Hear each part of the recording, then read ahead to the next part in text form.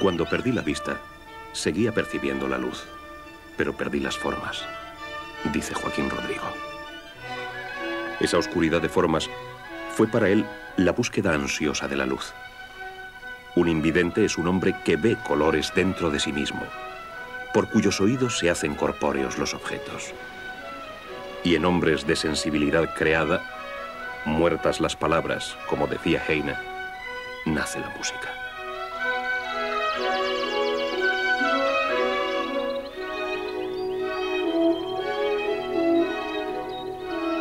Su biógrafo, Joaquín Bayá, apunta, el maestro no se acuerda de los paisajes de su niñez, de la luz del mar de la cultura que baña su ciudad natal, del cielo siempre azul que le protegió en su infancia, del blanco azahar de los naranjos, del dorado color de su fruto. Joaquín conserva de aquella época más memoria auditiva que visual. Se acuerda de las cigarras, de los grillos que cantaban. Su espíritu refinado para todo lo bello supo asimilar la poesía, la memoria auditiva de los seres y las cosas. Joaquín Rodrigo, sin saberlo, no podía ser otra cosa más que músico. Él nació para la música y esta, agradecida, ha caminado a su lado cada momento de su vida.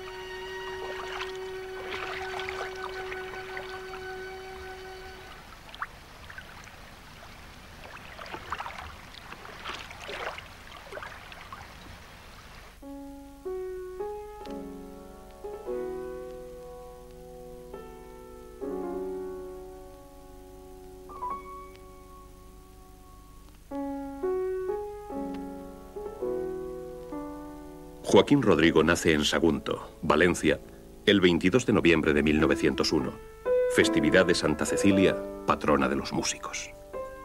Sus padres, Vicente Rodrigo y Juana Vidre, tuvieron diez hijos. A pocos metros de su casa estaba instalada la Sociedad Musical Lira Saguntina. Muchas veces, a la hora de los ensayos de los músicos, el pequeño Joaquín se acercaba a escucharles y a su lado permanecía horas y horas absorto. En Sagunto hubo una epidemia de difteria que causó la muerte de numerosos niños. A mí, dice Joaquín, me tocó perder la vista, no del todo, porque percibía luces, reflejos. Yo me escapé de la muerte y me tocó esto. Después, poco a poco, me quedé ciego por entero. Tenía cuando la enfermedad tres años y medio.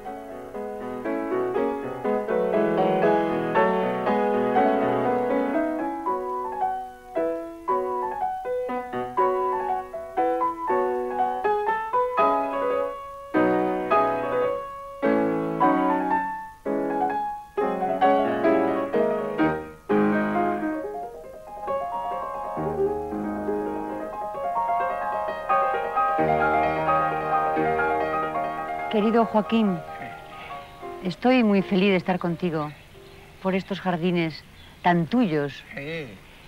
Pero no tengo más remedio que decir que mi presencia aquí no es casual, como pudiera estar cerca de ti cualquier otra actriz, sino porque la guitarra de mi padre, Regino, estrenó tu precioso concierto de Aranjuez. Ya lo creo, ya me acuerdo, muy bien, en Barcelona. En Barcelona. En el año 40. Exactamente. Mm, Joaquín, aunque tú lo hayas contado y la gente lo sepa, muchos amigos, este programa que es tan tuyo tenemos que preguntarte por qué Aranjuez y que nos lo cuentes. Bueno, yo quise evocar dos cosas, recordar. Una, la historia de Aranjuez en el siglo XVIII, con las cortes de Carlos III, Carlos IV, la aristocracia, las majas, las duquesas, Goya, etc. Quise recordar eso. Y después quise recordar también que en Aranjuez veníamos, mi mujer y yo, recién casados, a, en la luna de miel, a pasear algunas tardes por aquí. Y también es el recuerdo de nuestras conversaciones, de las fuentes, de lo que ella me contaba, etcétera, ¿verdad? Joaquín, vamos a remontarnos un poco a, a tu niñez. Cuéntanos, ¿tu primer contacto con la música cuál fue? Pues yo de niño ya sentía inclinación por, por la música. Eh, la primera ópera que oí fue Rigoletto. El primer concierto fue a Banda Landosca con su clavecín, entonces hacía sensación. Ya poco a poco me fui inclinando por la música, ya empecé a aprender.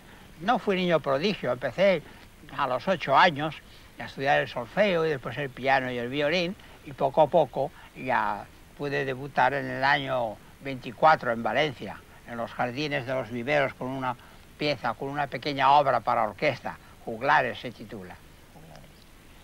Saliste de Valencia hacia París. Eras muy joven. Sí, tenía yo entonces 25 años. ¿Qué, ¿Quién te acompañó a París? Bueno, me acompañaba el secretario que tenía yo, tenía siempre Rafael, el buen Rafael, que ya murió hace muchos años, y con él eh, me fui a París. ¿Qué llevabas debajo del brazo? ¿Qué composición? Pues llevaba algunas, por ejemplo, el preludio El Gallo Mañanero, que fue tan decisivo en, en mi vida, porque gracias a él conocí a Vicky, que fue todo para mí, que ha sido todo para mí, que lo es. Y llevaba hasta la banda lejana, cinco piezas infantiles, una suite para piano, alguna canción, alguna cosa para violín. Eso es lo que llevaba.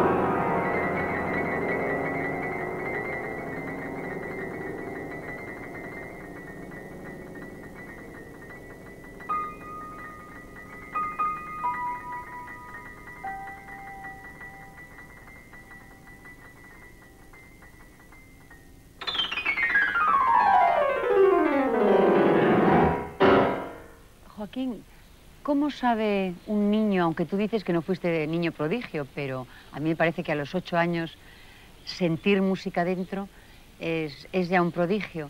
¿Cómo sabe un niño que tiene música dentro, que lleva música dentro? El niño no lo sabe, pero lo siente. Se siente conmovido y atraído por la música.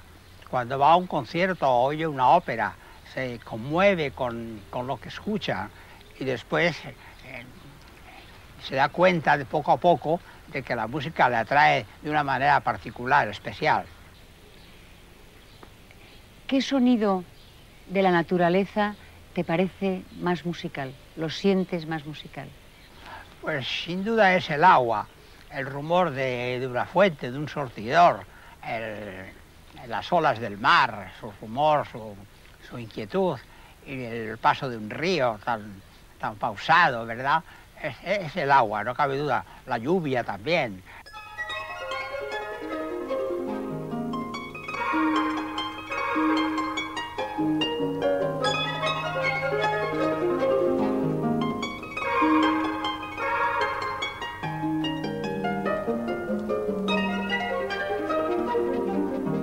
París es el sello definitivo a la personalidad del joven músico. Aún vivía Dandy. Paul Dica va a ser su maestro y Ricardo Viñes ejercía de gran cónsul de los músicos españoles. Para Joaquín, París era todo. El salón, la clase, la ópera, los conciertos, las primeras ediciones. París se encontraba con un músico español que traía una música familiar. Albéniz había representado cordialmente la España romántica, rabiosa de espontaneidad, con el alma siempre en los ojos y en los labios. Luego vino una generación más silenciosa, también genial, pegada al estruendo triunfante de Albéniz. Eran Falla y Turina que daban una España preocupada y absorta. Otro camino pasmoso, la voz impresionista y catalana de Federico Mompou. Joaquín llegaba de Valencia con pentagramas escritos en una tierra de luz y de amor. Y llegaba con sus juegos infantiles, las locuras del gallo mañanero, la enamorada junto al pequeño surtidor, la magistral zarabanda lejana, la delicadísima Bercés de otoño. ¿Cabe música más bella en un músico de poco más de 20 años? El joven Joaquín Rodrigo se encuentra con Europa. Poldica, escéptico, ingenioso, burgués, culto, anciano, era el ideal de Joaquín. Sus años de aprendizaje serán decisivos, pues Dica era la paz entelleante, la vida remansada y resumida en el mandato desde la ironía. Esa conciliación de ironía y ternura que Joaquín luego hizo suya.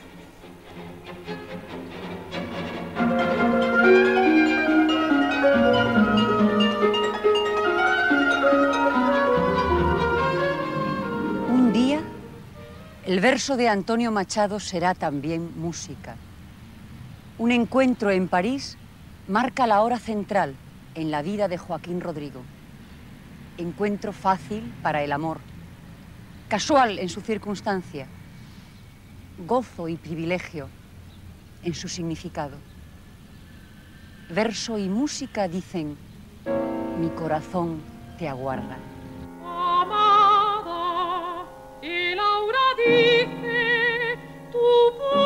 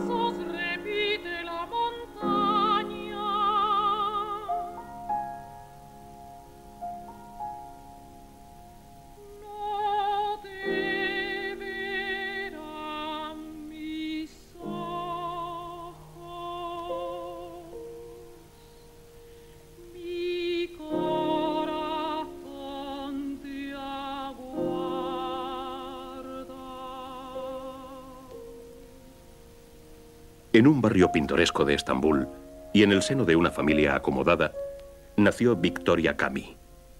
Su padre era otomano, su madre austríaca, vienesa. Tenía escasamente cuatro años y ya se sentaba frente al piano. Fue su primer maestro el gran concertista húngaro Gesa Hegiei, discípulo directo de Franz Liszt, quien le dio clases durante poco más de un año. Luego sus padres deciden llevarla a Viena y allí estudia con el famoso concertista y pedagogo Jorge Lalevich. Pocos años después, sus padres abandonan la capital austriaca para instalarse en París. Encuentra entonces otro gran maestro, Lazare Lévy, con quien estudió durante cinco años hasta que se graduó como profesora de piano. Vicky es la mano derecha de Joaquín y su mano izquierda y sus ojos, su compañía inseparable, la que ha compartido su vida, su hambre, su gloria.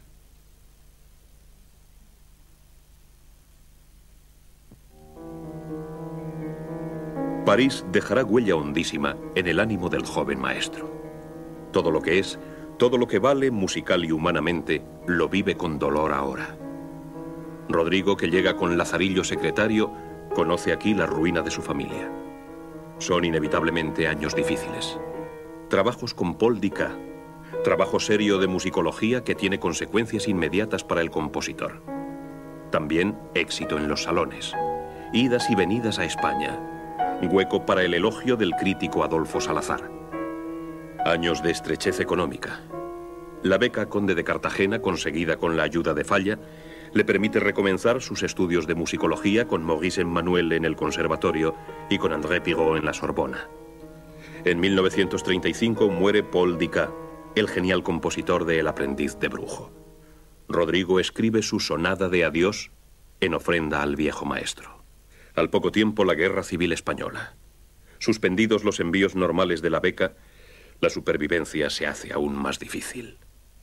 Diálogos con Regino Sainz de la Maza delinean el concierto de Aranjuez, pensado, hecho totalmente en su intención, en una lóbrega casa del barrio latino, Saint-Jacques 159, y ante un modesto piano.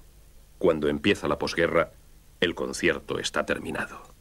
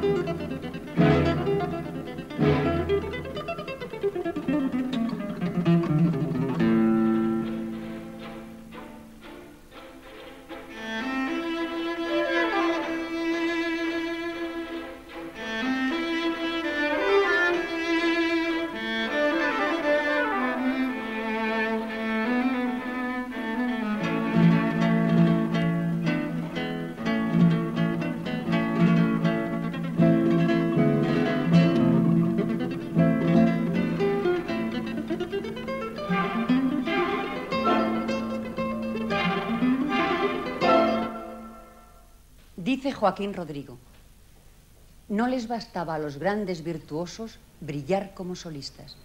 necesitaban también destacar entre y por encima del conjunto instrumental, en un supremo alarde de técnica.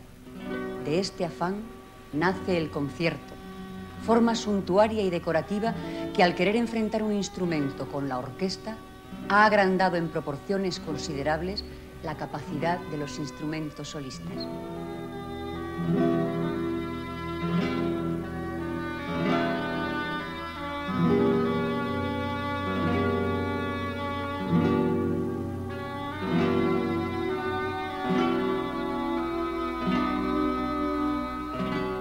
Mismo estirón ha sido pedido a la guitarra y este súbito proceso de crecimientos ha planteado una serie de inusitados problemas técnicos que Sainz de la Maza ha tenido no que resolver, sino que domeñar.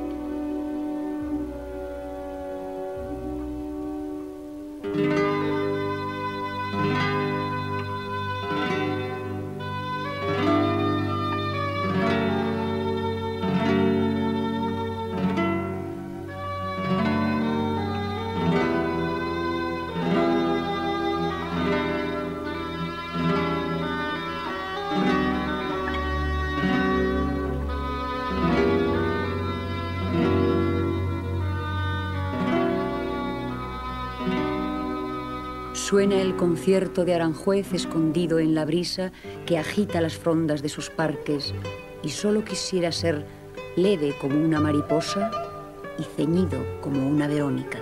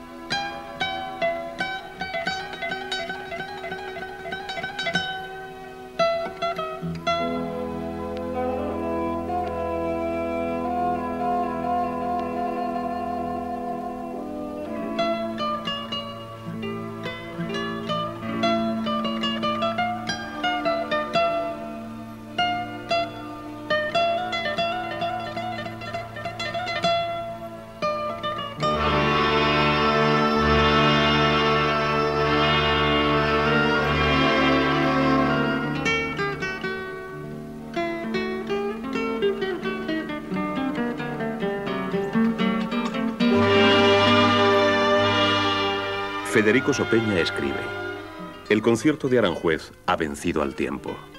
El que sea hoy todavía concierto sin rival es la mejor prueba. La raíz no está en un cálculo de equilibrio en el diálogo entre la guitarra y la orquesta, no. La inspiración está creando, exigiendo ese equilibrio. Joaquín Rodrigo, que no ve, necesita sin embargo de su paisaje como punto de partida. Un paisaje oído como tacto, pero vivido como creación cultural. El escoger Aranjuez no es capricho ni literatura, sino destino. Oído como tacto. Paisaje de mucho pájaro entre mucha agua.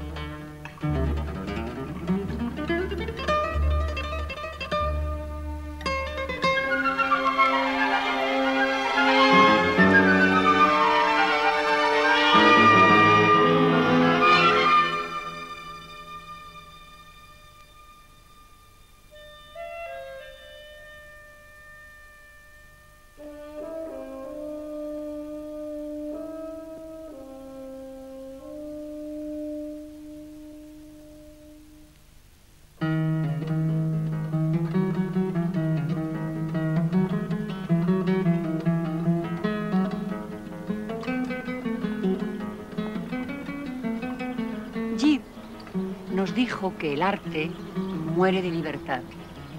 Esta cita podíamos aplicarla al concierto de Aranjuez, que parecía destinado a ser obra de circunstancias, pero que, como hubiera dicho Eugenio Dors, logra el paso de la anécdota a la categoría. El concierto se convirtió en una de las obras más famosas y escuchadas de la música contemporánea española. Ha sido llevado al ballet. De él se han realizado más de 20 versiones.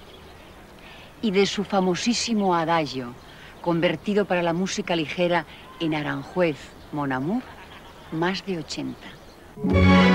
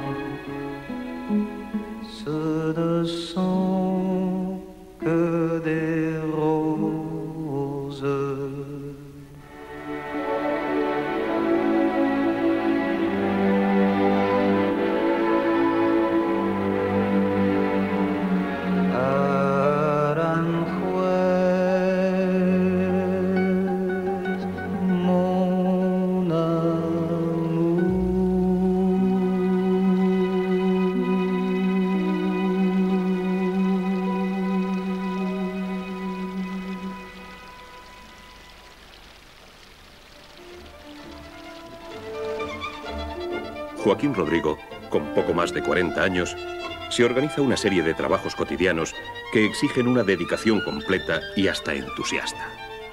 Todas las mañanas se le verá cruzar recoletos hasta la Organización Nacional de Ciegos.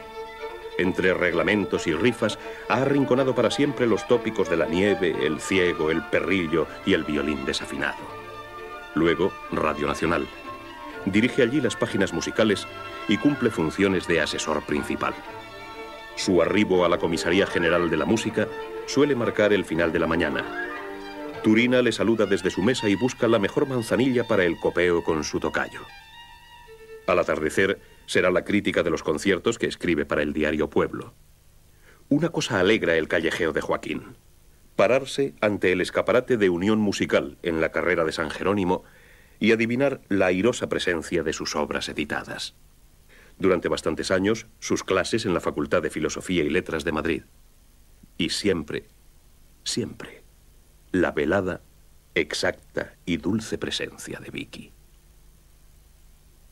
Joaquín Rodrigo. Una agudizada sensibilidad le permite situarse en el mundo de los ruidos y de los colores. Así, el núcleo más personal de su obra es hijo de una activa contemplación del paisaje. Joaquín sueña activamente todo lo que recibe de la ancha perspectiva de sus sentidos. Posee un tacto maravillosamente dotado para el conocer.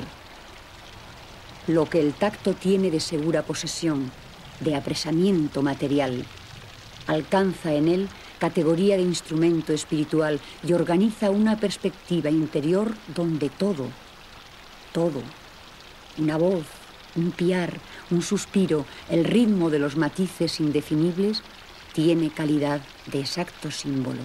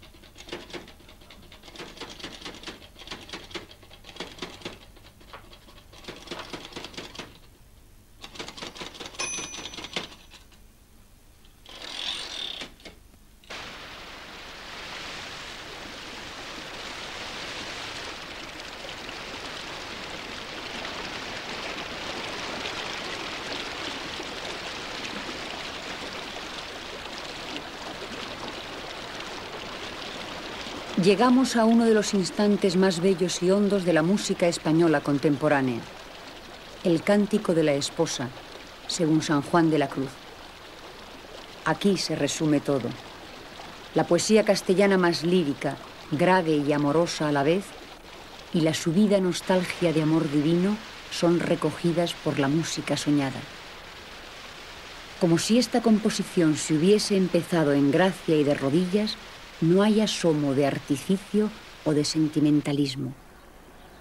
La voz, mansamente acompañada por un piano con grave gorjeo de pájaros nocturnos, sigue la letra despacio, en valores grandes de compás eclesiástico, descansando en cadencias como suspiros.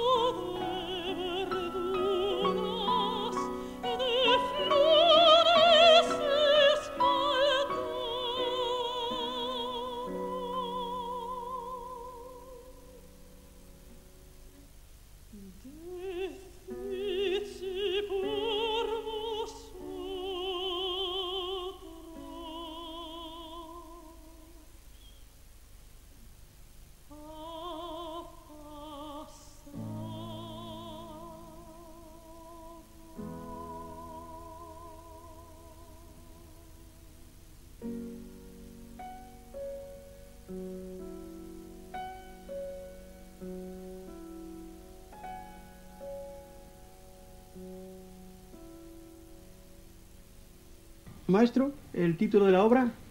Sí, pues eh, concierto para una fiesta. Concierto para una fiesta.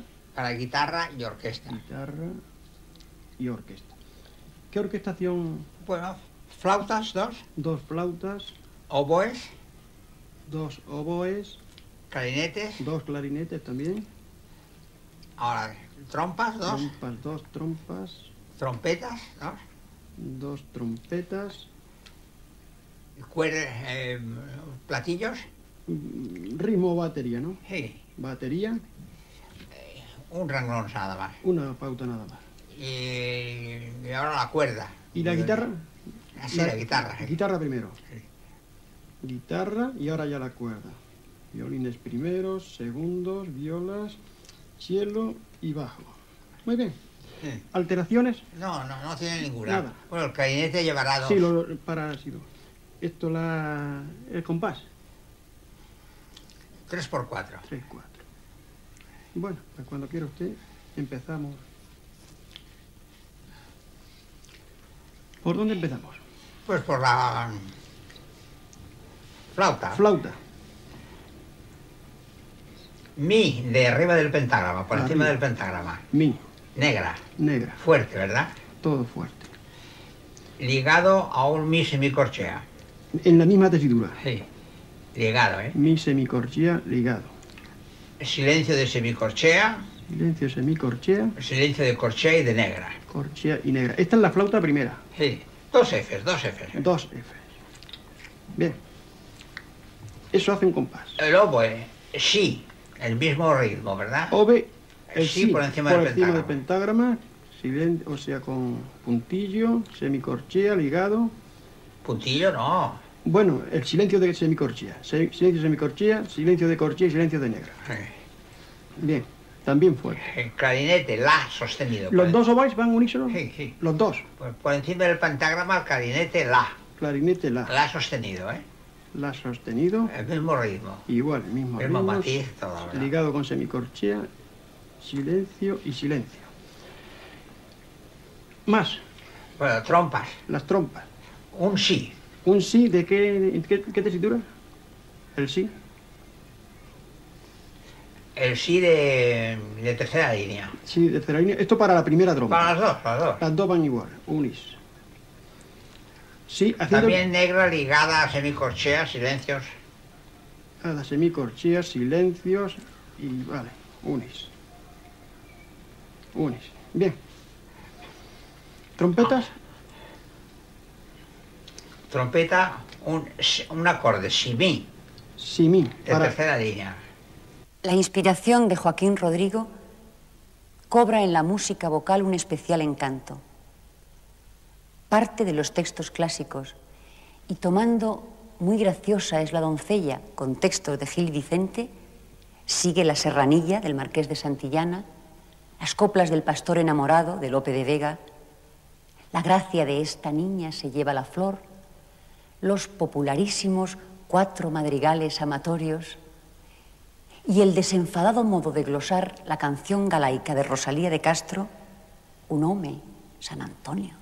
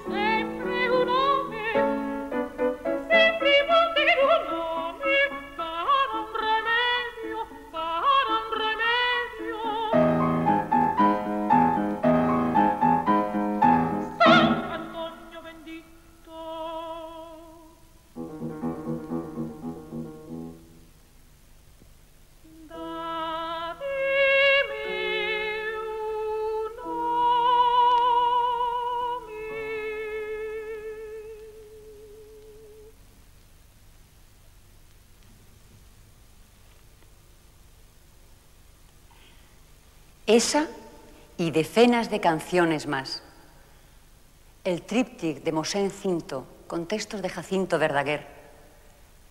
Nos subyuga especialmente el clima refinado en la espera, en aire y donaire. Vamos a escuchar dos villancicos.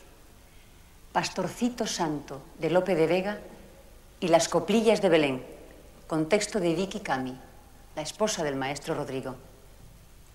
Canta la soprano Ana Higueras, acompañada al piano por el maestro Félix Lavilla.